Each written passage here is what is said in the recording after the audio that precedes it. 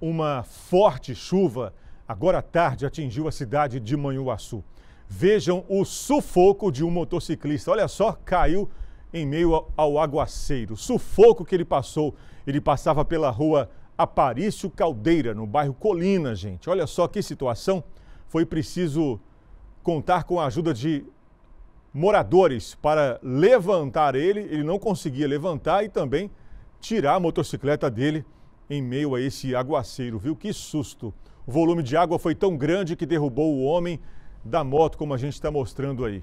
E olha só, em outra região, outro motociclista também viveu, outro motociclista também viveu o mesmo drama. Ele teve dificuldade para retirar a moto da enxurrada e precisou da ajuda de dois homens. Isso agora à tarde, na cidade de Manhuaçu. O governador Valadares choveu um pouquinho agora à tarde. Teófilo Otoni também a gente tem notícia que a chuva também apareceu e provavelmente em outras cidades aqui da região leste e da região nordeste, assim como em Manhuaçu, a chuva apareceu novamente e, segundo a previsão, está marcando mais chuva para esse fim de semana, viu? A partir de amanhã, sábado, também domingo, provavelmente o 25 de dezembro deve ser com chuva em muitas regiões do estado.